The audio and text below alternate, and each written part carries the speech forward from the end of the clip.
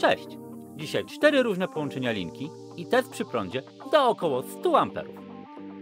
Konektor nieizolowany, tulejka zaciskana, tulejka izolowana i jako jedyne rozłączalne Wago 221, czyli to z klapką. Jak się zachowają te połączenia, które jest lepsze, które więcej wytrzyma, które mniej się nagrzeje, to wszystko będzie w tym filmie.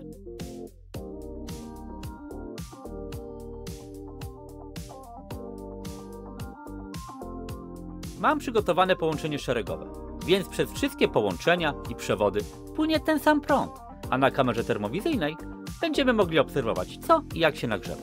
No to zaczynamy!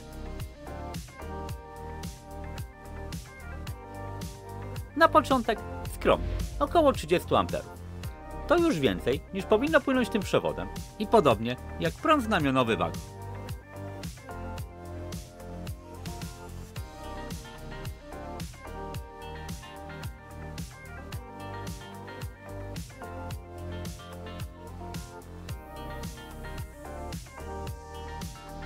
Jak widać, przewody nagrzewają się bardziej niż włączki. Jednak nie są to wysokie temperatury.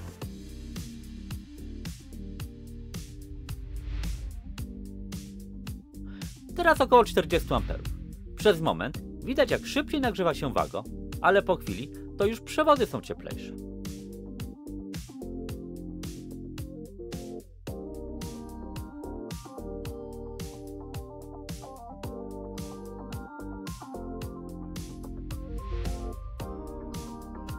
Około 60 A.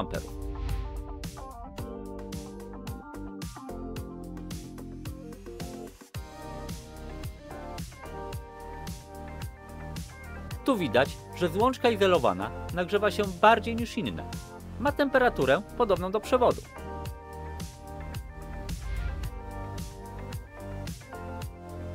Około 90 A.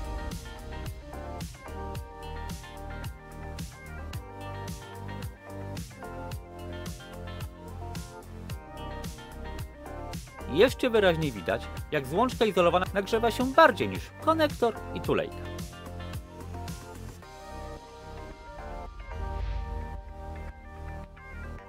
Zobaczmy teraz, co się stanie przy dłuższym przepływie prądu. Niestety, tylko przez chwilę przekracza on 100 A.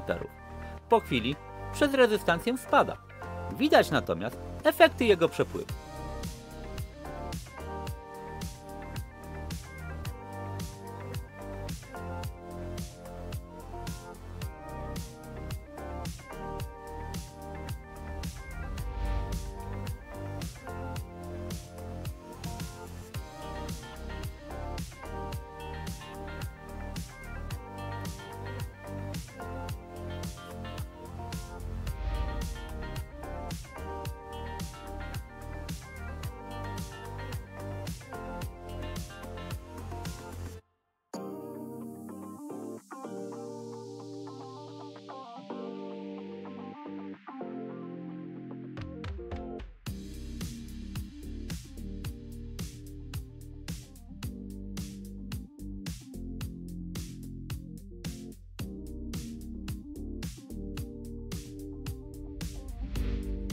Zobaczcie jeszcze, jak wyglądają złączki i przewód po tym eksperymencie.